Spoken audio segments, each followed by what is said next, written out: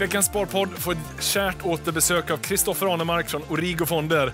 Nu i ny tappning, Origo Select, och vi snackar nordiska smällkarameller. Han bjuder på ett härligt buffébord av intressanta nordiska småbolag som han gillar just nu. Se till att lyssna in så får du höra allihopa. Nu kör vi igång. Jag säger hjärtligt välkomna till Sparpodden och välkommen tillbaka, Kristoffer Arnemark. Tack så mycket Alex. Kul att vara här igen. Alltid kul att ha det här. Det brukar alltid bli ganska många trevliga smällkarameller till aktiecase. Precis. Och jag vet att vi har ett gäng eh, riktigt spännande bolag. Ja, Ganska mycket nordiska. ganska mycket nordiska, vår specialitet på Origo. Ja, senast jag hade med dig, då gjorde du typ första eller andra dagen på Origo. Mm. Nu, nu är det ett halvår eller mer än ett Ja, åtta halv- månader senare. Ja, till och med det. Ja, va? så, det, det har hänt otroligt mycket på den tiden. Ja. Vi har hunnit dra igång en ny fond också. Så nu har vi fördubblat produktutbudet. Nu har vi två fonder istället Ja. för en. Eh, Så det känns jättekul. Eh, Tillväxtresan där alltså. Ja, ja, det är verkligen bra, bra sekventiell tillväxt. Men och du får ju vara ansvarig för den här fonden. Precis, jag är ansvarig för, för den nya fonden. Du, grymt jobbat och uh, ska bli otroligt spännande att följa. Berätta nu då, Origo Select. Precis. Med Q och grejer i. Ja, den frågan har vi fått lite. var- Varför Q och har vi stavat fel på Select? Ja. Eh, nej, men det bottnar sig egentligen i att Q står för quality. Eh, och eh, Ja. Det sammanfattar egentligen vår förvaltningsfilosofi ganska väl. Och inte minst i den här produkten. Att vi leder, letar efter eh, det vi kallar för karpbolag med Q. Många pratar om GARP-bolag med G. Men vi vill ha quality at a reasonable price. Eh, och så, så, så vi, vi gillar de här bolagen som, som kanske inte är eh, så genomlysta, det finns inte så många analytiker som täcker det, men som är fantastiskt välskötta, som är på väg någonstans 3 till år framåt, som är vår investeringshorisont. Och där ser vi ju att vi har ju egentligen kartlagt hela Norden och hittat, ja, i vårt tycke, de 25 absolut bästa bolagen i Norden som Ja. vi vill äga långsiktigt. Och det, det finns en kapp där, det får inte vara mer än 25 eller är det, det är där omkring? Ja, det, det är det som är ambitionen. Sen så kommer det, ja, det kommer pendla lite eh, beroende på marknadsläge och så, men Men det, är ju- det en koncentrerad Det portfölj. är en väldigt koncentrerad portfölj eh, och vi tror att bra idéer ska få stort utrymme i en, i en portfölj. Ja. Eh, Så att man inte har 0,1% vikter utan att man ändå investerar med övertygelse. Ja. Det är också en central del i, i vår förvaltningsfilosofi att vi, vi tror på de bolagen vi äger och vi vet varför vi äger dem och förhoppningsvis eh, eh, så får vi rätt i våra investeringsteser också. Ja. Och det här blir en, det är en nordisk småbolagsfond med betoning på nordisk. Ja, men Så precis. Mycket är ju annars svenskt. Det blir lite övervikt Sverige. Sverige är den största marknaden och sådär. Men, Mm. men här kommer det vara lite mer jämnt fördelat eller kommer det vara liksom på precis här 25 procent i varje land? Eh, nej, det, det kommer inte vara precis 25 procent. Det beror ju också på vart vi hittar bolag eh, som vi tycker är attraktivt prissatta relativt sin potential. Så det där kommer ju också skifta lite eh, med tiden. Men vi strävar efter att ha en genuint nordisk profil. Ja. Vi, vi ser ju stora fördelar med att ha eh, ja, men sprida risken egentligen ut med de olika marknaderna i Norden. Inte bara ha Sverige, även om Sverige väger mycket i index och i, i, i, i liksom liknande produkter, eh, så, så tror vi ändå att det finns väldigt många fördelar med att titta i Norge, titta i Danmark, titta i Finland eh, och utöver det ha självklart de bästa bolagen från sven, svensk marknad. Vad är fördelarna med att kolla i just Norge, Finland, Danmark? Nej, men jag skulle säga att eh, analystäckningen, i alla fall i vårt segment, är eh, på sina håll väldigt eh, eh, låg. Eh, så, så vi ser ju ändå fördelen med vår egna analys som vi gör. Eh, att, att vi kan ha en fördel med att träffa bolagen. Vissa bolag har ju inte ens träffat investerare på, på må- många år. Eh, så då ser vi en fördel att ja, men, om det inte är genomlyst, det är, det är inte så många som tittar på det. Och vi, eftersom vi vänder på så många stenar så eh, från tid till annan så hittar man någonting väldigt intressant. Ja. Och, om, och då kan man vara med tidigt i en resa innan det är uppmärksammat och redan eh, uppvärderat. Så vi, vi fokuserar på det vi kallar för oupptäckta eh, kvalitetsbolag. Ja. Det är många som fokuserar på liksom, redan upptäckta kvalitetsbolag som har bevisat sin kvalitet. Men vi tittar på bolag som, som har bevisat sin kvalitet men som inte är på allas radar ännu. Och är det för att de är för små fortfarande eller eh, är det för att de är för nordiska? Eller vad, vad brukar det vara? Liksom? Ja, nej, men det, det, kan, känslan? ja, det, kan vara, alltså, det kan vara en mängd olika förklaringar. Ja. Men det kan vara allt från kommunikation, att man kanske inte kommunicerar så mycket med marknaden som, som andra eh, större bolag gör. Det kan vara att eh, man har kanske en verksamhet som är lite för en utomstående svår att förstå vid första anblick. Eh, så man bara sållar bort det automatiskt i någon screening. Man tänker att ja, men den där sektorn vill jag inte äga eller vad det nu kan vara. Eh, eller så kan det vara helt enkelt att eh, ja, bolagen har, har ett konstigt namn. Du vet, så, att, ja. så att man inte förstår det heller. Eh, pratade ju mycket om Tikkurila förut. Det blev Just ju, det. Ja, men generellt sett, Ja. finska bolag. Jag ber om ursäkt för alla våra finska lyssnare, men det är ju svårt. Ja, det är svårt. svårt att uttala dem. Det är svårt att uttala dem. Och, Men det är där guldkornen kan finnas då. ja, nej, men det, det, det är absolut det vi tror på och det är så vi investerar. Och det är där vi, alltså vi, vi kan ju hitta otroliga bolag som, som har en fantastisk tillväxtresa. Ja. Eh, både framför sig men också bakom sig. Eh, där vi, om man tänker utifrån ett risk-reward-perspektiv, kan ta attraktiva positioner i bolag som ändå har eh, en spännande affärsmodell. Och vi ska kika på ett gäng av dem, för du har med dig ett bra, en bra buffé av nordiska bolag. Men jag, jag fastnar lite vid det här eh, Karp. Mm. Eh, quality at reasonable price. Karp är inte en trevlig fisk om man tittar på den. Den är inte så, den är inte så vacker. Nej, men det här är med Q, så du- kommer undan då. Men annars så, Garp är ju liksom tillväxt för ri- rimliga priser. I, I den här dagens miljö så brukar det vara mer liksom, mjukvarurelaterat, li- mer än någon form av teknisk liksom, eh, lösning. Blir det mer nu fysiska produkter, liksom industri, är det quality? Eller liksom, Nej, men... vad- hur blir portföljen? Finns det en känsla där? Är, är det liksom eh, mjukvarulösningar, eh, digitala tjänster eller är det lite mer klassisk industri? du tänker på gamla, gamla ekonomin. Ja, men gamla ekonomin. Alltså det är där, jag har en association till kvalitet när det kommer till det där. Sen är Ja. inte alla industrier kvalitativa, så att säga. Men, Nej, men, nej, men det, det är en bra fråga. Men för det är inte lika tillväxtoptimerat. Alltså det, du kan inte, om du säljer en fysisk produkt, det är inte lätt att dubbla omsättningen Nej. varje år. Nej, exakt. Nej, men om, man, om man tittar på portföljen som, som den ser ut idag så har vi ju en, en del liksom, rena digitala bolag också. Ah, okej, ja. Så, så, så Karp innebär inte att vi bara tittar på liksom, ensiffriga multipelbolag utan, utan det är snarare att man ställer det i relation till okay, var är bolaget i sin tillväxtresa, i sin fas. Eh, jag gillar ju också liksom, mjukvarubolag och som, som har hög skalbarhet men, men det jag är lite rädd för är att betala för mycket. Eh, så, så då, ja, tittar man på, eh, på portföljen som, som sådan så, eh, så, så ligger vi liksom, eh, lågt relativt sett i värdering relativt många andra eh, Okej, fonder. Skulle jag säga. Men, men jag skulle inte säga att vi har liksom den gamla ekonomin enbart. Nej. Utan vi har en blandning mellan mjukvara, tjänster, industri, tillverkande industri eh, och digitala vinnare också. Just det, ja.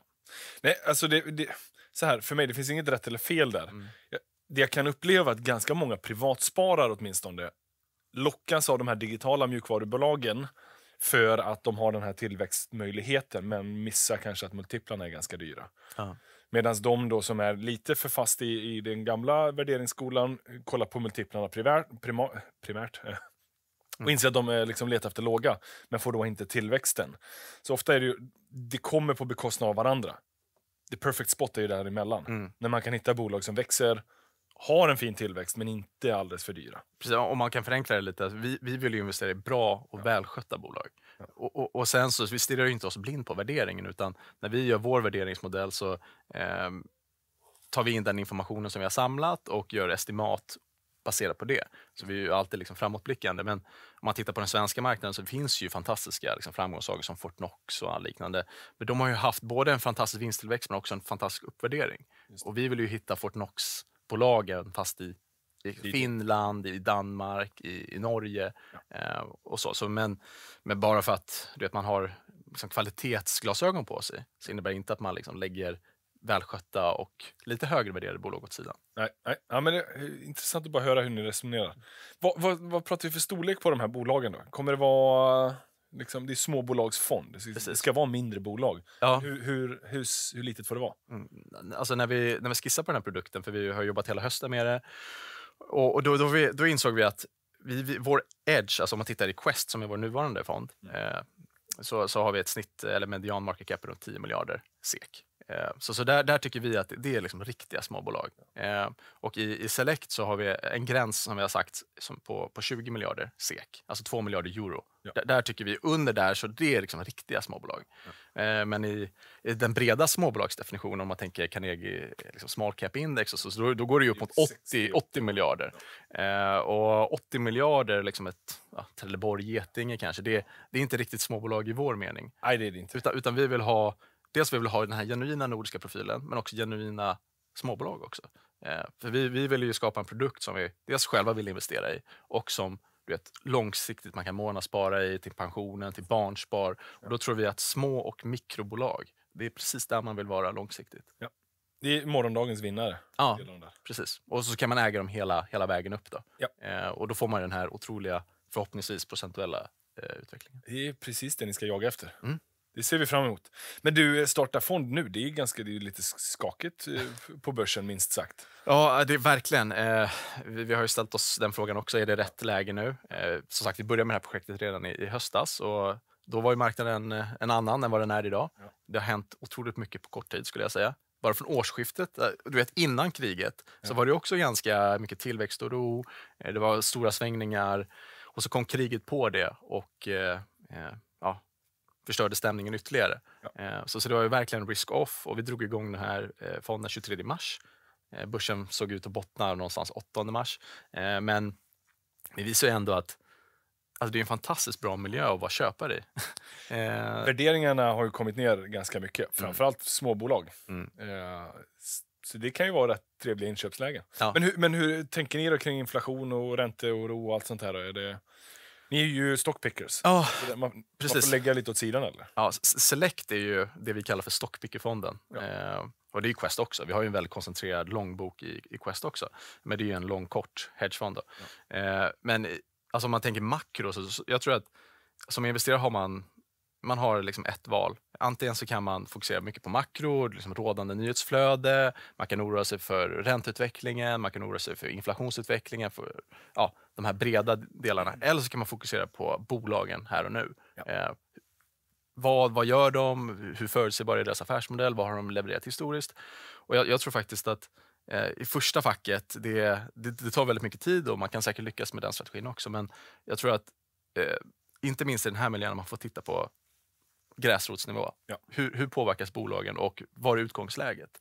Eh, och det, det vi gillar när, när vi tittar på bolag, det är ju bolag som har klarat tidens tand, som har klarat liksom, kriser historiskt och som, som har en underliggande stabilitet. Och det är det jag gillar. Jag gillar ju framförallt bolag som har en väldigt hög förutsägbarhet i sin verksamhet.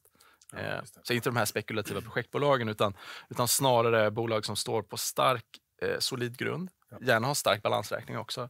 Eh, och som kan växa av egen maskin nästan oavsett marknadsmiljö. Mm. Sen så måste man vara väldigt ödmjuk nu. För, för vi ser ju att eh, ja, det är ju lite minerad mark eh, när man tittar. Inte minst i liksom Norden och inte minst mindre bolag. Att det är, eh, det är ett knepigt marknadsläge. Vi har redan sett liksom vinstvarningar hos vissa bolag, eh, inte i vår portfölj.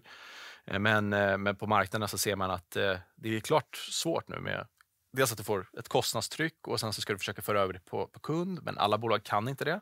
Eh, många som säger att man gör prishöjningar, men om du gör prishöjningar som inte riktigt kompenserar för dina kostnadsökningar så blir du ju squeezad på marginalen. Just det. Så, så det, de bolagen vill vi undvika. Vi vill ha bolag som, som har den här eh, pricing powern, alltså prissättningsförmågan, där man kan, faktiskt kan vältra över eh, kostnadsinflation plus lite till. För sen när förhopp- inflationen förhoppningsvis faller tillbaka så kanske man kan behålla de prisnivåerna också. Det. Eh, det är en faktor som inte många pratar om, att eh, om nu inflationen toppar ut här och sen på väg ner, då kanske... Mm.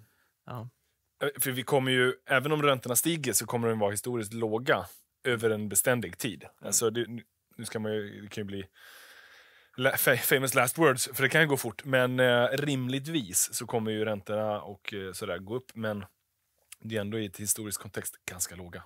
precis. Och, Och även inflationen, det, kan, det är ganska osannolikt att den fortsätter med 4 eh, liksom, eller 6% eller 8 mm. Utan det här är ju kanske tillfälligt. Ja. Och, och, och sen så, man ska ju också komma ihåg att vi är bolagsinvesterare. Ja. Vi investerar i bolag Ja. eh, som har en prissättningsförmåga. Och, och vad är alternativet? Ska man investera i bonds med en kraftigt negativ realränta nu? Nej. Då blir det ju också rökt. För att inflationen är kanske två, faktor två mot vad du får på, i kupong. Eh, så, så, jag, menar, jag tror ändå att alltså hög, visst, ränte, räntorna liksom kryper också upp avkastningskraven, men man får titta på aktier som, i vissa segment som inflationsskydd också. Eh, Vi ser ju bolag som faktiskt ändå eh, ja, har förutsättningar för att leverera väldigt fin organisk tillväxt. För tillväxten, alltså i försäljning, den kommer ju från pris och volym. Om du höjer prisen och har volymtillväxt, då får du ju en väldigt stark tillväxt. Eh, så det behöver inte vara negativt i en inflationsmiljö heller. Nej. Inte minst i nominella termer. Eh, så, så jag tror ändå att aktier som tillgångslag är precis där man vill vara Ja. eh, kommande Det, fem åren. det tenderar att vara vinnare över tid. Mm. Och det, det tror jag de flesta investerare har greppat. Mm. Det gäller bara att ha tålamodet och, och vara investerare över en tid. Sen kommer det gå eh, perioder med låga räntor, höga räntor, hög inflation, låg inflation, Ja. krig, inget krig, pandemi, ingen pandemi. Det kommer att komma saker och då kommer det att försvinna. Ja, vä- väl eh, sammanfattat. Ja. Jag menar, jag, som investerare, jag började investera 2008. Eh, ja, det var en svår miljö också. Fick- Jag har ju fått ge- genomleva mina kriser också. 2011, eurokrisen, 2015, Kina-krisen, eh, 2018 var det också techfrossa, 2020 pandemi. Men, men det man tar med sig hela tiden är att marknaden kommer tillbaka. Ja. Och bra bolag kommer tillbaka starkare. Eh, och inte minst bolag som nu har haft ett otroligt operativt momentum under covid. Eh, nu, många säger att det är liksom svåra jämförelsetal och så, men om man tittar på vad bolagen bygger för affär eh, så står man mycket starkare idag än vad man gjorde 2019. Eh, och om du då kan komma in till en lägre värdering än 2019, Du är rätt tacksamt. då är det väldigt tacksamt. Ja. Jag förstår, så, så man, man, man, jag tror att det är väldigt lätt att stirra sig blind på kortsiktig volatilitet och att man blir rädd. Man, skrämmer, man blir utskrämd ur sin position. Men om man tittar på, och om jag hade ägt det här bolaget i onoterad miljö, allting rullar på. Vinsterna ökar, kassaflödet ökar, utdelningen ökar. Och, givet att jag inte har betalat för mycket då, Det är bara mumma. ja, ja men det är ju Ja, bara, det är bara ackumulera. Ja. Så, så nu i den här perioden som vi är i så, så är det ju väldigt tacksamt att ackumulera andelar när marknaden är skakig. Eh, massa andra. Vi, vi är två frälsta här som sitter och övertygar varandra. Nej, men jag, eh, jag köper det rakt av. Jag tror att lyssnarna också. Det är ju buy the dip. Det är inte så mycket svårare än så. Ja, ja men precis. Och, och vara lite mer selektiv nu. Ja. Eh, Var lite mer selektiv. ja, tittar vi 2021 så, så kunde du nästan köpa vad som helst och det blev bra totalt sett. Men, men nu är det ju en, mer en stockpicker-marknad eller en alfamarknad där man får försöka väga risker och möjligheter. Framförallt risker nu skulle jag säga. Förut så var det väldigt mycket fokus på möjligheter. Det, eh, investerare hade den här moroten framför sig och man tittade bara på den. Men nu är det ganska mycket potthål däremellan. Eh, Ja. Så man måste försöka... Och eh, ja, dra ner förväntningarna lite. Många bolag som dubblerade sig under 2020 eller 2019 eller 2021. Eh, och så kan det inte fortsätta. Nej. Eh, liksom, så att, En rimlig avkastningsförväntning. rimliga avkastningsförväntningar. Mm. Och att avkastning tenderar ju att komma i så här klumpperioder, så som ett 2020, andra halvan och 2021. Och så blir det lite lugnare ett tag och sen så kan det bara liksom pang slå till. Ja, exakt. Så man får tålamoden över tid. Börsen ger till den tålmodige och tar från den otålige. Mm. Det är bara påminna sig om de där gamla klyschorna Ja, men, och äga aktier. Exakt, och det har ju varit egentligen tre exceptionella år. Ja. Alltså 2019, 2020 och 2021. Ja. De tre åren är ju egentligen i ett historiskt perspektiv ett, en, en parentes. Ja. Eh, och man ska ha med sig att, som du säger, att vi kanske har legat lite över trend i termer av avkastning på indexnivå. Mm. Och nu, även om det rör sig sidledes, så innebär det fortfarande väldigt stor spridning mellan bolag. Så, så jag tror ändå att om man, nu, om man verkligen tror på aktiv förvaltning som vi gör, så tror vi att det ändå blir en renässans här eh, 2022 till 2025 eh, framåt. Där man verkligen får betalt för sin analys, får betalt för att äga rätt bolag, Ja. får betalt för att, eh, eh, att faktiskt avvika kraftigt från index som vi gör i vår i förvaltning. Var selektiv. Ja. Det är det det handlar om. Eller select, man selekterar. Select med Q. Ja. Men du, Kristoffer, vi måste ju snacka lite eh, trevliga bolag man kan stoppa i den här portföljen. Då. För nu har vi pratat om hur övertygade vi är om aktier och aktier... Vilket fantastiskt tillgångslag det är. Exakt. Men eh, ett välkänt danskt bolag, jag tror att du, vi har snackat om det förut i Sparpodden. Ganska många som känner till det. Eh, A och J. Eh, hur uttalar man det där? BRD? Bröderna. Bröderna? Bröderna, ja, bröderna AK och Johansen. Just det, just det. Eller Johansen. Det beror på hur man vill uttala det. Dansk grossist. Ja. Vad är det som är så mumma med det? Nej, men jag, jag tycker att eh, A och J det, det sammanfattar verkligen den typen av bolag vi vill äga i Select och Quest för den delen. Det är ett av de största innehaven i Origo Quest också. Eh, det är en VVS-grossist som har eh, egentligen vind i alla segel. Eh, man har gjort det fantastiskt bra. Dels har man ridit på, på den här allmänna liksom, bygghåsen som har varit, eh, inte minst på liksom, business to consumer-delen eh, som man har en liten verksamhet i, eh, men också business to business. Man ställer, säljer till installatörer. Så, ja, mycket renovering, eh, tillbyggnad och ombyggnad. Eh, och, och tittar vi vad de har gjort de senaste åren så har man investerat otroligt mycket i sin digitala plattform.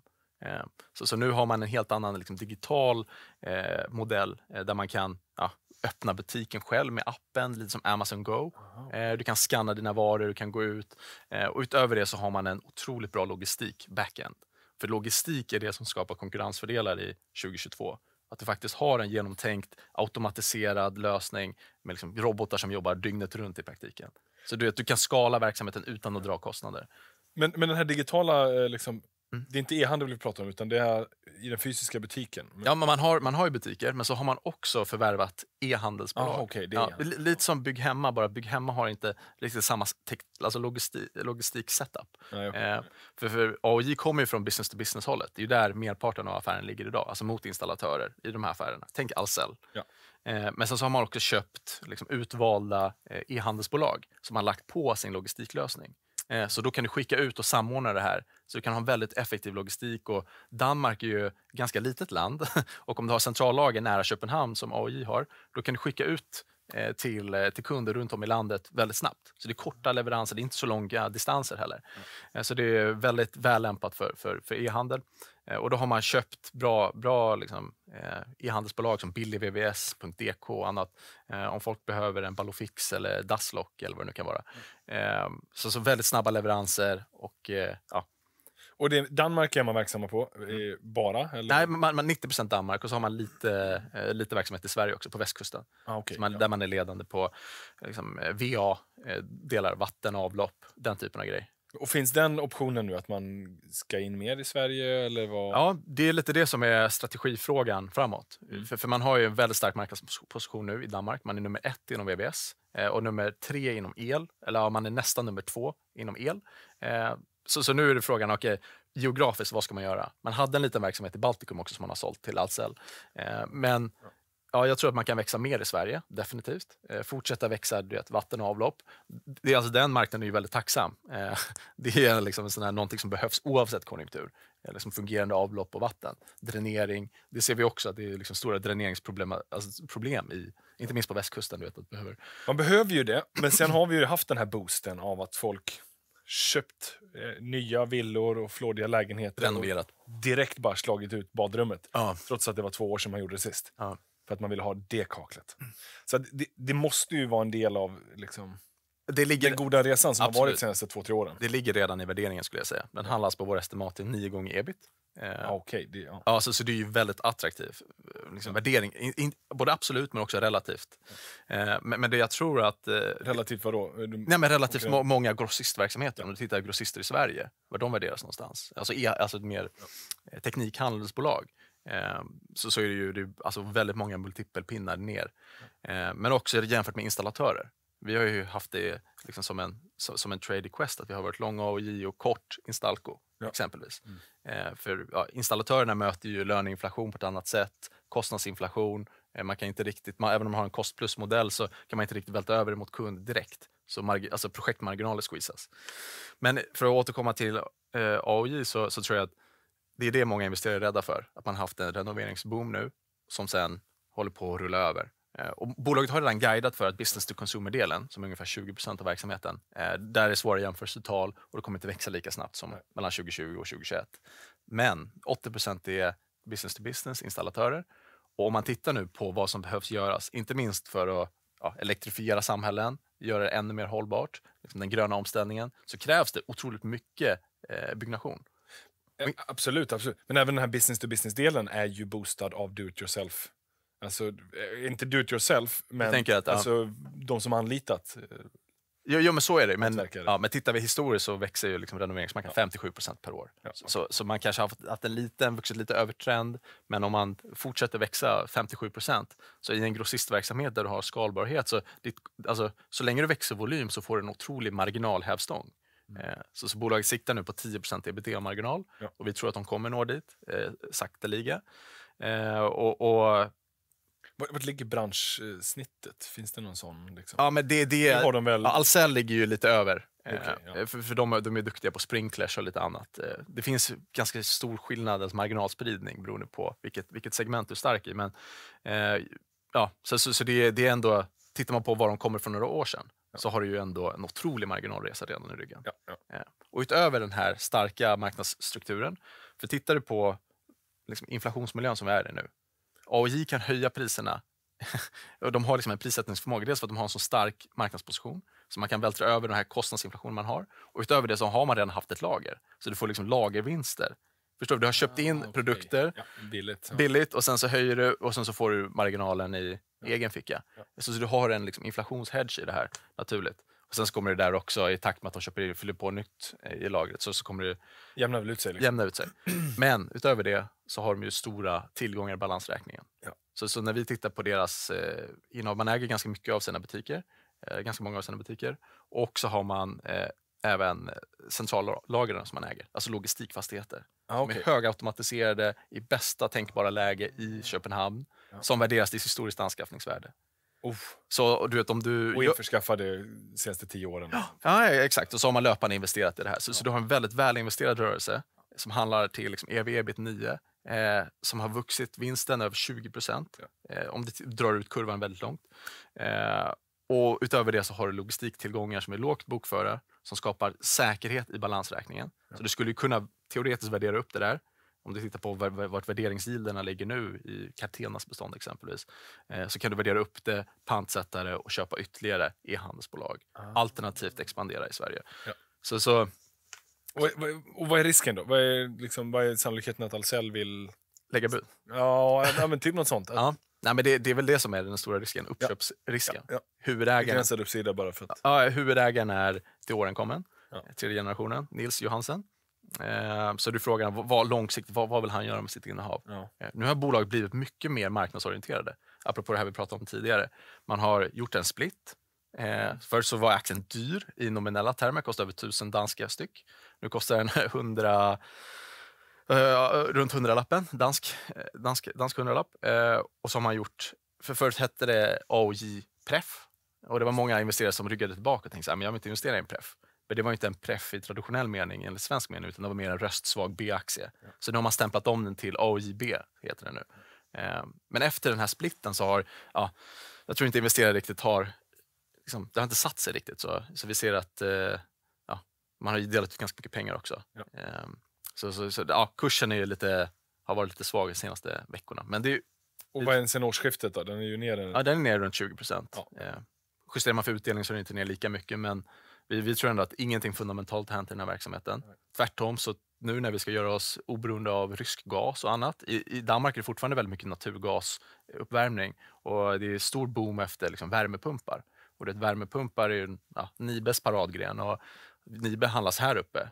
Men AJ som distribuerar värmepumpar handlas här nere. Ja.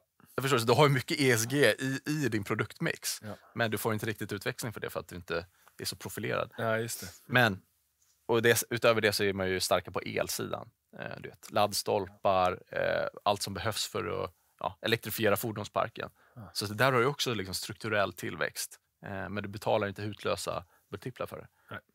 Men, men vad är din känsla då kring uppköp? Eh, Ja, det, nej, men det är ju det- 3 miljarder danska eh, Ja. kronor börsvärde. Precis. Det är inte så stort. Det är inte så stort. Det hade varit en mumsbit för Ahlsell. Ja. Det har ju varit uppköpsförsök på det här tidigare. Och 27-28 så, så var det en kamp, både Lenvig Müller som är en konkurrent och Sannistål eh, försökte lägga bud på det här. Konkurrensmyndigheterna satte stopp för det då, eh, för de är så starka. Men tittar vi på liksom Ahlsell så är Danmark fortfarande en vit fläck på deras karta. Ja. De är etta i Sverige, i Norge och andra länder, men inte i, i, i Danmark. Nej. Så det är inte otänkbart att Nej. de skulle vilja köpa en välinvesterad Ja, och då kommer en fin budpremie. Ja, så, så jag tror att Nils, han skulle nog inte släppa det här för en minst liksom, 50-70% premie. Någonting. Ja. Så, så vi, vi, vi tror att den här aktien ska bort mot 200. Ja. Eh, aktien kostar 100, 109 tror jag nu. Eh, så, så det är en fin uppsida till låg risk tycker vi. Eh, så, så det är den här typen av bolag som vi letar efter i Select också. Just det. Spännande, spännande case. Vad, ja, är det någonting mer man behöver tänka på kring det bolaget? Ja, men, ja, det man behöver tänka på är liksom så, såklart att det är, eh, likviditeten är inte den bästa i det här pappret.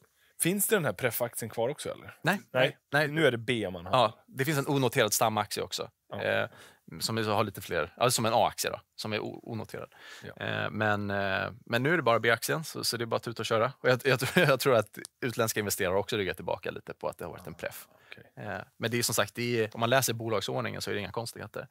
Eh, så, så, ja, bra utdelningsaktie också, delar ut över 4% Vi tror att de kommer gilla runt 6, 6 framåt.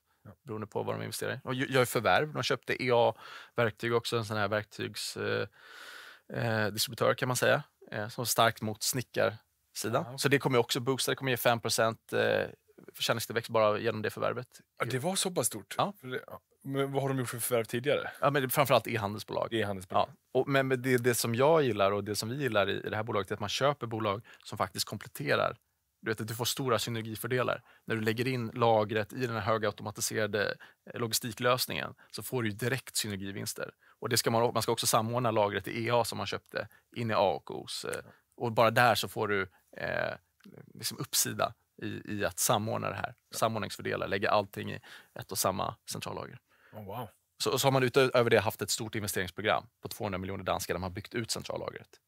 Så bara den kapaciteten tror vi eh, kommer...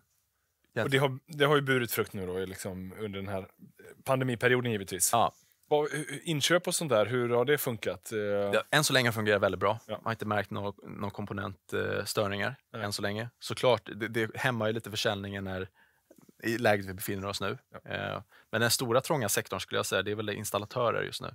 Det har varit stor sjukfrånvaro och brist på installatörer. Så det är snarare så att behovet av de här installationstjänsterna är väldigt högt. högt. Ja. Men det finns inte tillräckligt mycket personal som Nej. kan göra det. Nej. Men, men vi tror ändå att det, det, kommer, det kommer lösa sig över tid. Och det man ska komma ihåg är också att AOJ har ju tagit marknadsandel. Så man har ju, utöver att mark- marknaden för renovering växer 57 procent, så har man vuxit snabbare än det för att man har tagit marknadsandel från konkurrenterna. För att man har en mycket bättre digital plattform. Förstår du? Så, så man är inte bara beroende av marknadstillväxten utan man är bara egentligen beroende av att fortsätta den här resan som man är på. Ja. Fortsätta investera i sin, i sin plattform.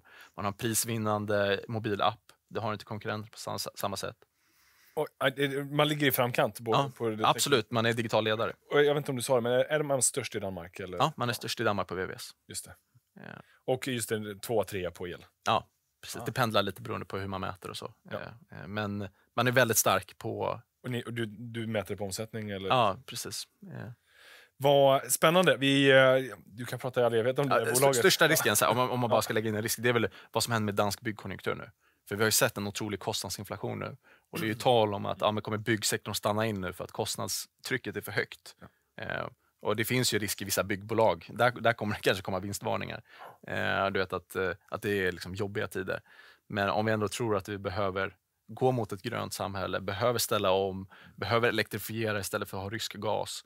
Ja, då är det ju liksom sekulär tillväxt under ett årtionde framåt. I, Och det, det är relativt låg vär- värderingsmultipel. Så Ja. det är ju en... du köper in det i låga förväntningar Ja. redan. Och om du får den tillväxten som vi lägger in i våra prognoser så, så kommer det här bli väldigt bra totalt sett, tror vi.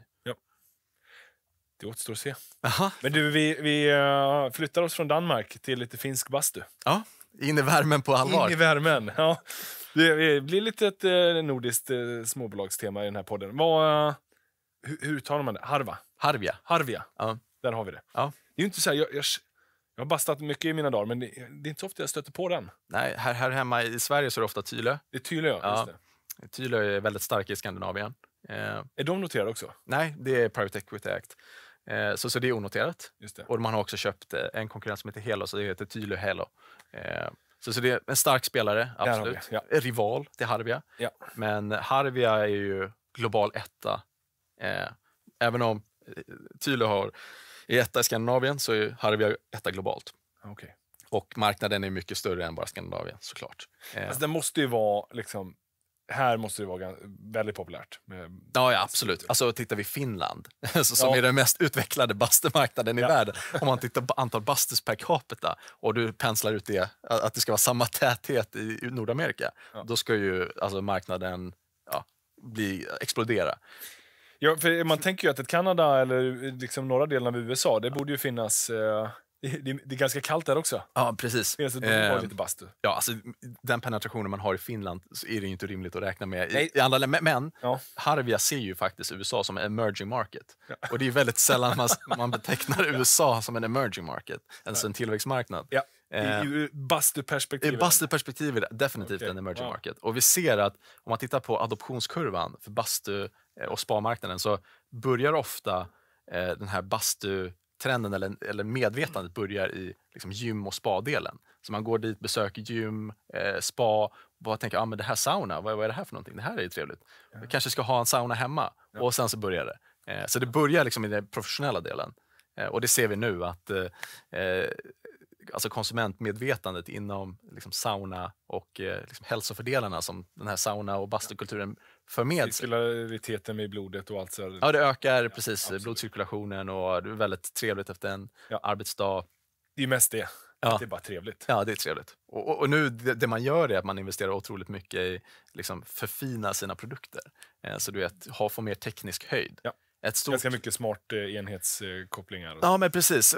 En stor, en stor del som man har fokuserat på är ju att liksom öka average selling price. Alltså varje ag- aggregat du säljer vill du ha liksom högre försäljningspris per enhet. Så, så du får ju både volymtillväxt men också att kunden får mer teknologiskt avancerade produkter. Så nu har du uppkopplade aggregat där du kan styra med en app exempelvis. Så när du sitter på kontoret som nu och tänker att ah, men jag vill nog hem och köra en snabb basta, bastu, eh, besök, då kan du liksom dra igång reglaget redan här. här. Och sen när du kommer hem så är det perfekt temperatur. Just. Så bara hoppa in. Ja, det är fint. Men det är en otroligt imponerande organisk tillväxt förra året. Alltså, Ja. Det är ett, det är ett relativt stort bolag.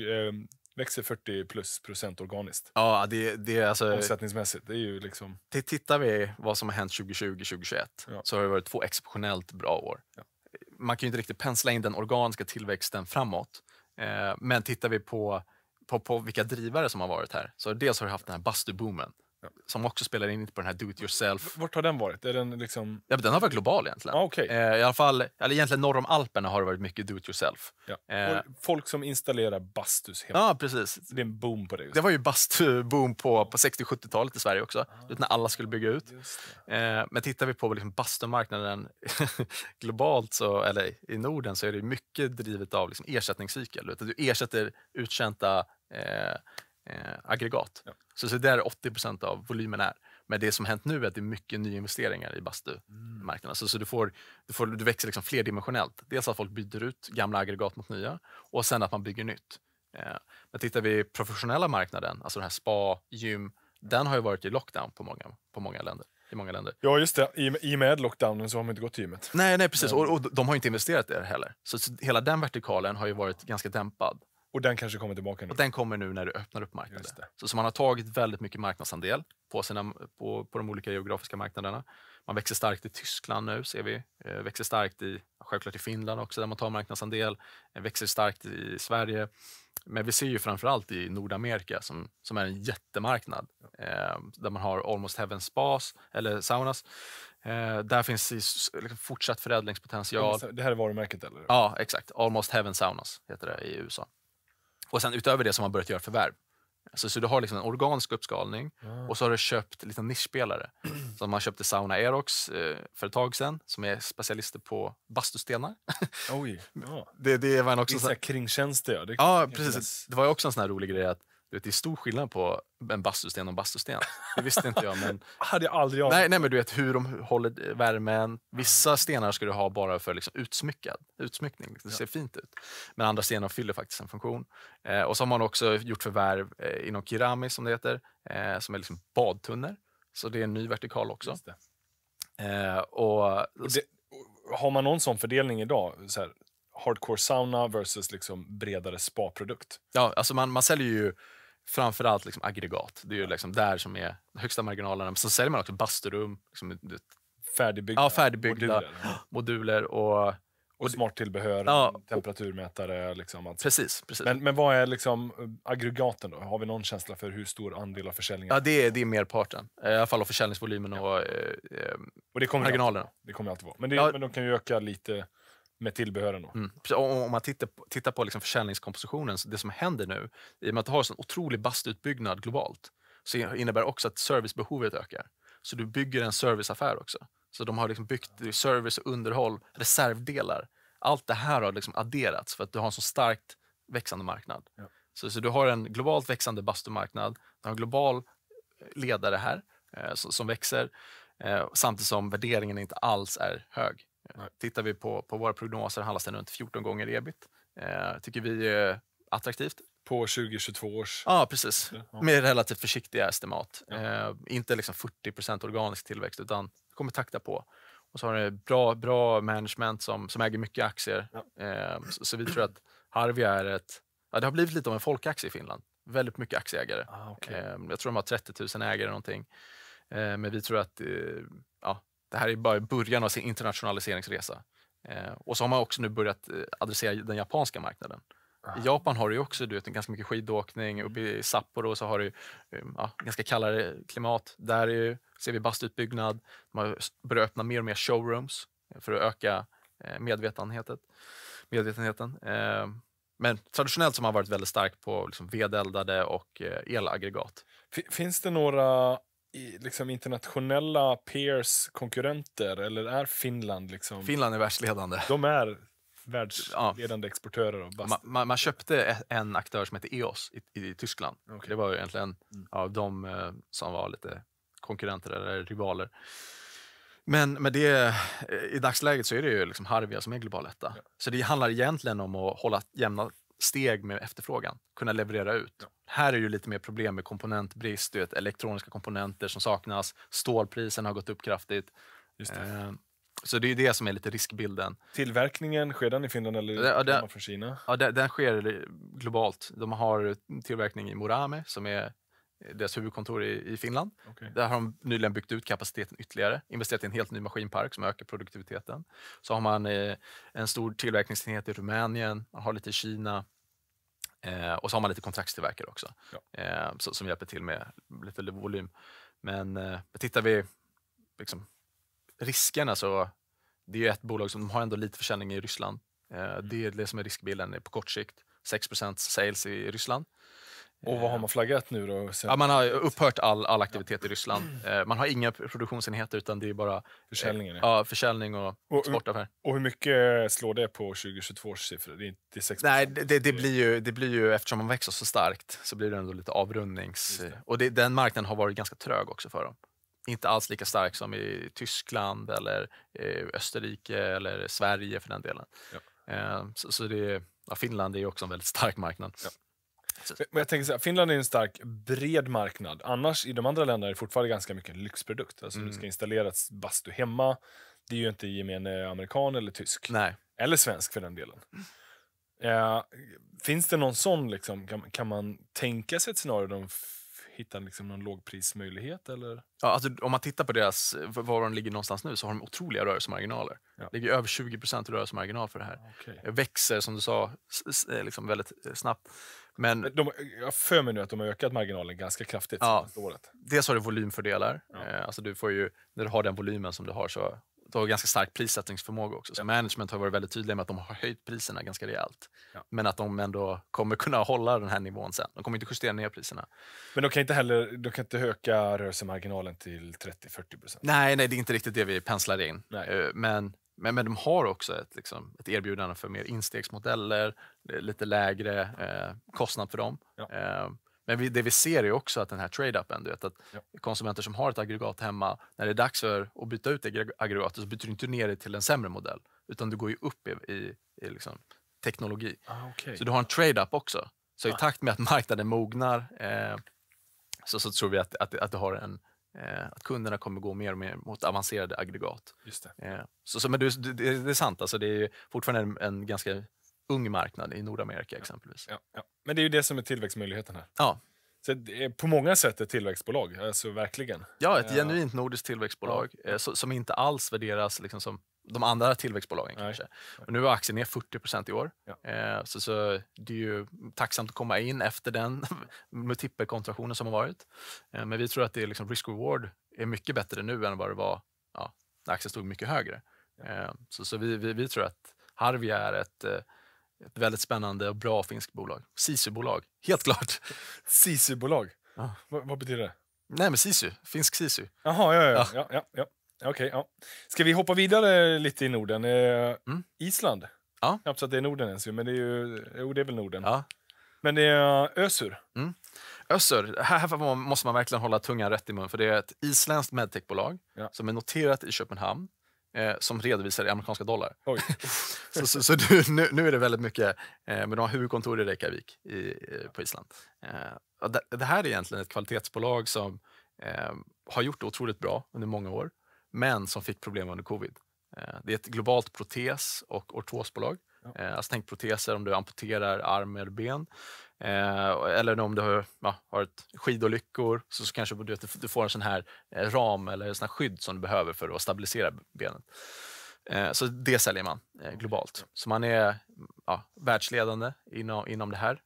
Rivalen Ottobock är väldigt stark på emerging markets och det är, där, det är de två spelarna som finns globalt. Össur och Ottobock. Ah. Ottobock ägs av EQT. De har planer nu att börsnotera Ottobock på, på tyska börsen. Får se om de skjuter upp den IPOn eller hur det blir. Men Össur i alla fall men, men ledande ja. på den här specifika protesen? För det finns ju rätt många protestillverkare. Ja, ja, absolut. Det finns protestillverkare, men de är, om man tänker i sales ah, okay. så är de definitivt globalt två. Och hur, hur kommer det sig att det liksom, den kompetensen finns i Reykjavik av alla ställen? Ja, det var eh, bra fråga. De startade 71. Eh, det var en, ja.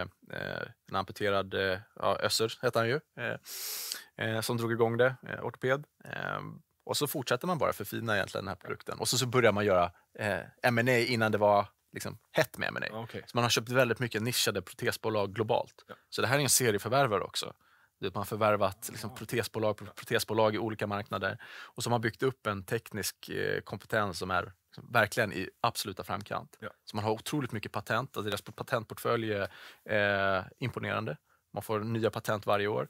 Eh, så man har byggt en väldigt bra teknisk tekniskt kunnande inom protes. Och det, det är ganska komplicerade saker när du ska bygga ett, ett knä exempelvis. Och det, det som är liksom den långsiktiga storyn i Össur det är att de här proteserna går mer och mer mot det som kallas för bionics. Alltså, bionics är mer eh, avancerade proteser som du dels kan koppla in liksom, så att du kan styra med hjärnan. Oh, wow. Eh, och de har en teknologisk lösning för detta? Ja, ja, exakt. De håller på att utveckla ja. de, de här absolut senaste proteserna. Eh, du vet, så att du kan jag kan styra en hand med, direkt med, med, med, eh, med hjärnan. Men, ja, men, men det behöver FDA-godkännande och så. så. Nu är det mycket mekaniska proteser man säljer. Man får gissa att det är en tillväxtoption i bolaget, men det är inte där det bär brister. Utan Nej. de har en antar då att det är Nordamerikas största försäljningsmarknaden, eller varför redovisar man ja. dollar? Ja, ja, det är Nordamerika är absolut den viktigaste marknaden och så har man, man är starka i Europa också. Så det är Europa och Nordamerika. Eh, och det är väldigt många veteraner du vet, i, i, USA, alltså amerikanska militären som har varit i Afghanistan och som har förlorat ett ben, en arm eh, i, i någon mina eller någon någon attack så, så, som, man, som man har som, som kunder. Och Det som händer är i den här verksamheten det är att det är en väldigt stabil verksamhet. Växer i snitt 58% per år. Ja. Eh, drivs också av att eh, du behöver byta ut de här proteserna. Du vet, de, den redan befintliga populationen du har. Ja, behöver reservdelar, service. Eh, så, så det, det är en otroligt förutsägbar verksamhet. Så 80% av intäkterna är liksom från den befintliga. Eh, bara uppgradering bara? Liksom. Ja, uppgradering, service, underhåll. Eh. Och ofta finansierat av eh, statmyndigheter? Ja, det är statlig reimbursement. Ja. Ehm, och, ja, så, så, det som hände under pandemin, varför vi gillar den nu, det är för att eh, många av deras eh, liksom, kunder är riskgrupper. Lite äldre, du vet. Eh, ofta är det ju att du får en protes efter stroke eller efter eh, något kardiovaskulärt och du behöver amputera. Och den här riskgruppen har liksom inte riktigt tagit sig till eh, du vet, sjukhus för att uppgradera sina modeller. Och det har särskilt slått mot deras högmarginalprodukter som, är, som kräver mer installation och som är mer avancerade. Eh, men tittar vi nu när vi kommer ur pandemin eh, så är man ju fortfarande Ja, nu, nu, finns det dels uppdämd efterfrågan ja. som man kommer beta av nu 2022 till 2025. Eh, och utöver det så har man fortsatt göra förvärv, så man har stärkt sin position. Och förvärvar man? Eh, ja, men man förvärvar i, i USA, i, liksom globalt. Eh, så, så, så, nu tittar vi framåt så eh, på våra prognoser så handlas det runt 20 gånger rörelseresultatet eh, som är väldigt attraktivt för så stabilt medtechbolag som är globalt ledande. Eh, så vi tror att de kommer ha en vinsttillväxt på över 20% kommande tid. Okay, ja. Eh, så, så, så mm, ja, medtech, då får man ju betala upp lite när man, när man tittar på medtechbolag men vi tror ändå att det här bolaget är väldigt väl positionerat för att dra fördel. Och finns det liksom någon, någon, något kapp för att man är ett eh, isländskt bolag eller liksom att man har huvudkontor i Reykjavik? Ja, exakt, det märks att intresset från investerare är ganska svalt nu. Ja. Dels, alltså, bolaget presterar fantastiskt bra från egentligen IPO eh, till 2019. Då var det en liten av en darling. Sen kom 2020 och covid och man tappade volym och man tappade lönsamhet.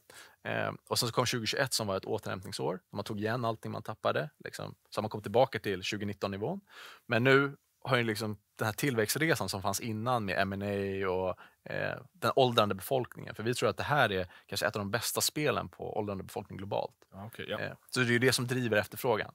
Eh, så en allt mer äldre befolkning i väst kommer, du vet, efterfrågan på proteser Mm. kommer gå upp. Eh, så så det, är, eh, det är ett tillväxtbolag som växer eh, mellan 5 till 8 procent organiskt och sen plus M&A och nu har man börjat återköpa aktier också. Eh, ganska kraftfullt. Och ägarbilden, har du någon känsla för hur Ja, ägarbilden kontrolleras av William Demant, den här danska stiftelsen som äger mycket medtech.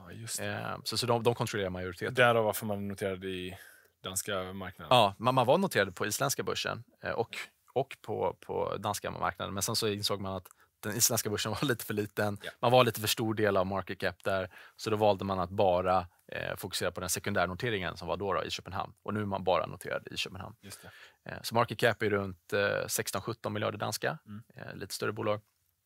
Men så- som sagt, världsledande, jättebra position, jättebra management. John Sigurdsson satt faktiskt som vd från 99 till, till nu.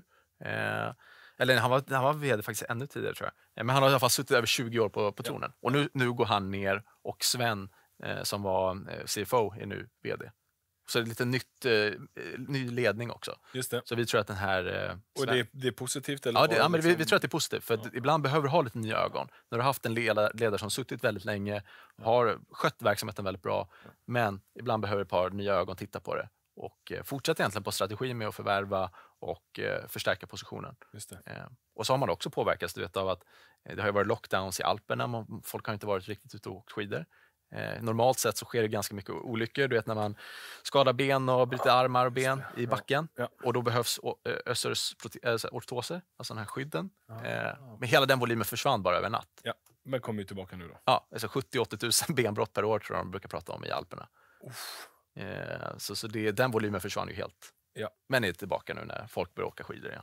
Ah, åk, åk försiktigare skidor. Ta aldrig sista åket kan man väl Ja, skicka med. ja. Eh, spännande, det är otroligt spännande case. Var lite kul med isländskt också. Mm. Det finns inte så många därifrån. Nej, men det det vi gillar är den här stabiliteten. Ja. Det här kan man... Eh, Det är lätt att pensla ut liksom. Ja, men någonstans. precis. Och, Och vad är de stora riskerna då? Vilka, vilka är potentiella konkurrenser utöver det här tyska då? Som... Ja, det här Ottobock. Nej, men det, den stora risken är att det blir nya nedstängningar igen. Eh, Okej. Covid. Ja. Man ser ju att det här Öster har varit en av de främsta, eller det medtechbolag som var kanske mest påverkat av, av covid. I alla fall på nordiska börsen. Så, så nya nedstängningar är en risk. Eh, reimbursements är en risk också. Du vet att staten vill Omförhandla? omförhandla avtal och driva ner priserna. Men det som väger emot det är att det blir mer och mer teknologiskt avancerade proteser. Ja. Så tittar vi de som har, är amputerade, de vill ju ha mer och mer avancerad eh, ja, det som förbättrar deras livskvalitet, vilket är naturligt också. För de utvecklar ju sina produkter. Eh, det är lite som du vet när du, eh, ja, jag tror bolag själva brukar referera till när du köper en bil.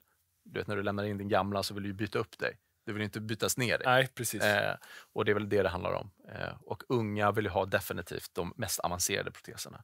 Eh, och, det, är det är ju intressanta tillväxtmöjligheter mm. som ligger i korten. ja, och det ligger ju lite läskigt nu, nu efter krigstider och sådana saker. Så Ottobock grundades ju efter, alltså konkurrenten grundades ju efter första världskriget med alla som var alla krigsskadade och då.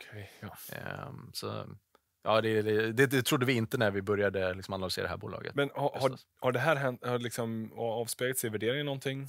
Liksom krigsutbrottet? Ja, det, den har handlat ganska starkt Ja, efter det. den har gjort det. Eh, Ja, Men, men den är fortfarande lägre värderad nu än den var eh, 2019.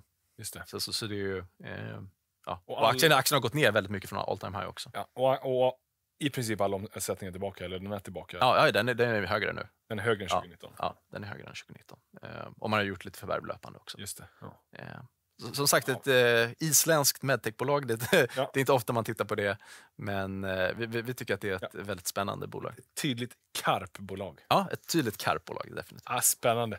Du Kristoffer, eh, det är så underbart att podda med dig. Jag kan bara ställa en fråga och så poppar det upp någonting. Jag frågade om eh, liksom, vart kommer Össur ifrån och så får man hela bakgrundshistoriken med ägare och grundare och allting. Ja, Jag vet inte vad du gör på kvällar. Du måste ju bara sitta och läsa Ja. årsredovisningar och ja, analyser. ja näsan i årsredovisningen. Det är, det är imponerande. Jättebra jobbat. Eh, otroligt spännande att höra. Du sitter på mycket kompetens. Ja, men det är kul. Vi är ju riktiga småbolagsentusiaster Ja. på Erigo. Så, så, så vi får ju ja, nu har jag äntligen utlopp för att bolla alla idéer med Stefan som är min rad. Nej men verkligen. Och jag menar, det, så här, nordiska aktier, det är som handen i handsken för Mm. dig. Eh, det, när jag tänker på dig som investerare, jag, jag tänker mycket finska och danska bolag av någon anledning. Ja, jag har förkärlek till de marknaderna. Är det de? Är, ja. är det de mer än norska, svenska? Ja, alltså Sverige är absolut särskild plats i hjärtat. Ja. Men sen är det ju Men det är för där man börjar. Ja, Men, eh, men sen har du, du måste ju ha mycket mer nordisk spridning än många andra. ja. Vad jag känner i alla fall investerare. ja, absolut. Jag har ju väldigt kraftig övervikt mot Danmark, Finland, eh, eh, ja, Sverige och... Men, men Norge kanske är det som är historiskt varit lite svagare på. Ah, Okej, ja. Spännande. Du, Kristoffer, eh, all lycka till här nu med Select-fonden. Ja, men tack så mycket. Du, det, det här kommer bli eh, otroligt bra, är jag fullt övertygad om. Och hoppas att vi kommer in på Nordnet snart också. Eh, ja, det får, eh, får vi hoppas. Definitivt. Eh, när vi spelar in det här så går det nog inte att handla. Nej. Nej, nej, men det, det ska vara på gång. Ja. Hör vi. Härligt, härligt att höra. Du, Kristoffer, eh, stort tack för att du kom hit till Sparpodden. Ja, men tack själv. Delade din visdom. En, en buffé av lite nordiska karpbolag. Precis. Kvalitet till rimliga priser. Och till er som har lyssnat, stort tack för att ni hänger med oss varje vecka. Ni vet att vi ses och hörs igen nästa vecka. Ciao!